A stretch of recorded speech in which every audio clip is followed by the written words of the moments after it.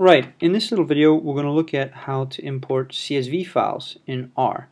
Now CSV files or comma separated value files are um, a very portable um, file format. They can be read by pretty much anything. Um, so here's a the jjj.csv file.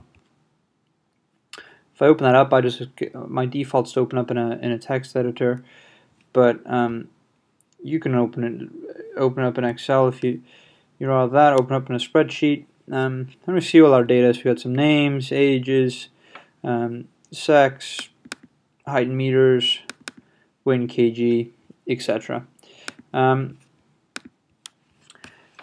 and we're going to pull that into R. So let me just do a quick ls show you that there's nothing under my sleeves, in my sleeves, so to speak. So age, uh, first data set, name.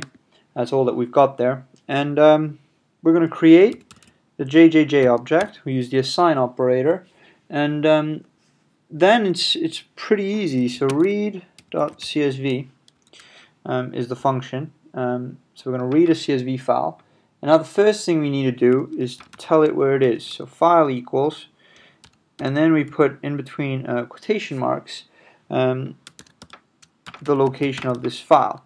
So it happens to be on my desktop and jjj.csv. Now Mac is a Unix system, uh, Windows is not, and so these uh, these slashes need to go the other way, and well, basically just find find your file, and, and put that in in quotation marks, um, and then I can write head equals true, um, capital true, to say the first line of this data set is um, the uh, is the name of the variables, but in fact. That the default value of this variable head in uh, the read.csv function is true. So by default, it reads that in. But if you do have a data set that the first row is just plain old data, you could set that to false. And then if we run that code, and we type jjj, we have the data set in R. And now if I type ls, we see age, first data set, and jjj, and name rn. R.